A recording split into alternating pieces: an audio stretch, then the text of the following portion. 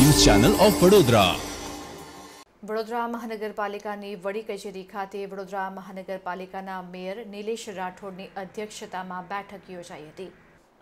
વડોદરા શહેરના મહાનગરપાલિકા ખાતે આયોજિત બેઠકમાં ડેપ્યુટી કમિશનર હસમુખ પ્રજાપતિ, વડોદરા શહેર police joint CP Manoj Ninama, SRP નવગ્રુપના સેનાપતિ RV Chudasama BS Prajapati additional collector તથા વિવિધ સંસ્થાઓ એનજીઓ તથા નગર પ્રાથમિક શિક્ષણ સમિતિના શાસનાધિકારી ધર્મેન્દ્રસિંહ ચુડાસમા વગેરે ઉપસ્થિત રહ્યા હતા.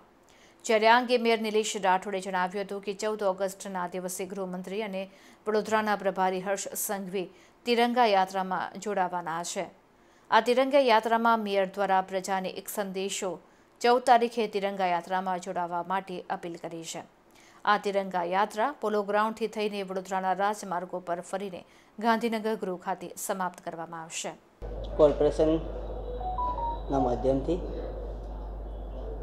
જે હરઘર તિરંગાનો કાર્યક્રમ થવા જઈ રહ્યો છે, એમાં તારીખ ચૌદ ઓગસ્ટના દિવસે મંત્રી શ્રી હર્ષભાઈ, પ્રભારી મંત્રી શ્રી હર્ષભાઈ પોતે આ કાર્યક્રમમાં હરઘર તિરંગામાં જે આપણે યાત્રા ગયા વખતે પણ કરેલી તિરંગા સાથેની.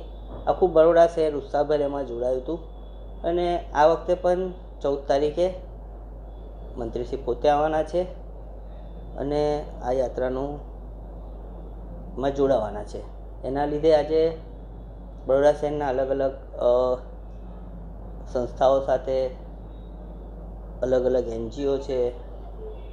પોલીસ ડિપે, પોલીસ ડિપાર્ટમેન્ટમાંથી જોઈન્ટ સીપી સાહેબ, ડીસીપી સાહેબ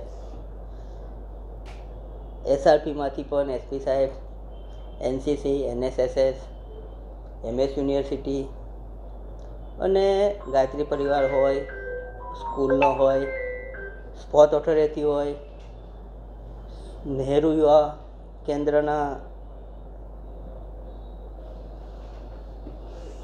સંસ્થાના લોકો હોય, એવી રીતના જે ચૌદ તારીખે તિરંગા યાત્રા નીકળવાની છે, એના માટેનું એક પ્લાનિંગ, બેઠક અને મિટિંગ રાખેલી હતી.